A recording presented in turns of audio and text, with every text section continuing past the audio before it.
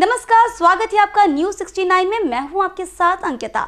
और बढ़ते हैं इस वक्त की बड़ी खबर की ओर। जबलपुर के कोतवाली क्षेत्र के गोविंदगंज में शासकीय स्कूल का छज्जा अचानक नीचे गिर गया। गनीमत ये रही कि स्कूल के बच्चे लंच होने के कारण ग्राउंड में खेल रहे थे। बताया जा रहा है कि स्कूल की बिल्डिंग जर्जर हो चुकी है, जहाँ करीब 500 बच्चे पढ़ते हैं। पहले से दसवीं तक लगने वाले स्कूल में नियमित कक्षाएँ लगती हैं, लेकिन कई सालों से यह स्कूल जर्जर हालत में है। इस क्षेत्र के बच्चों को यहाँ पढ़ना मजबूरी है, क्योंकि इनके माता पिता निजी स्कूलों के खर्च वहन नहीं कर सकते। स्कूल के शिक्षकों का कहना है कि शिक्षा विभाग को यहाँ को स्थिति की जानकारी है और कई बार स्कूल के शिक्षकों ने उन्हें इसकी जर्जर हालत के बारे में बताया भी लेकिन समस्या का समाधान नहीं हो रहा है।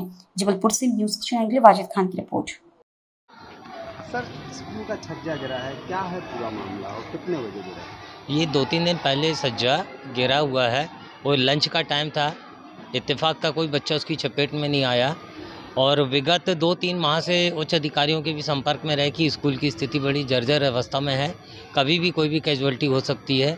तो किसी भी प्रकार का हम लोगों को ना जन सहयोग मिलता है ना किसी प्रकार की राशि मिलती है स्कूल को मेंटेनेंस कराने के लिए। तो ऐसी स्थिति में हम लोग भी निरुत्तर हो जाते हैं।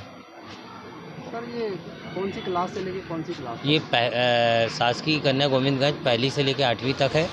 और यहाँ पे दर्ज संख्या भी अच्छी है। लगभग पाँच साढ़े पाँच सौ बच्चे आते हैं। अभी दर्ज संख्या और बढ़ने की उम्मीद है।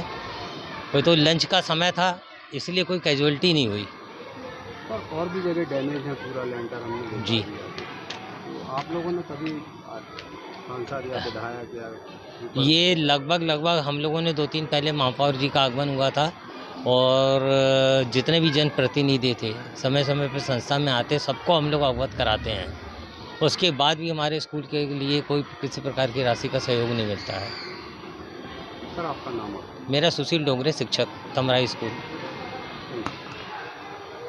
इस खबर पर आपकी क्या है राय? हमें कमेंट सेक्शन में ज़रूर बताएँ। तब तक के लिए धन्यवाद।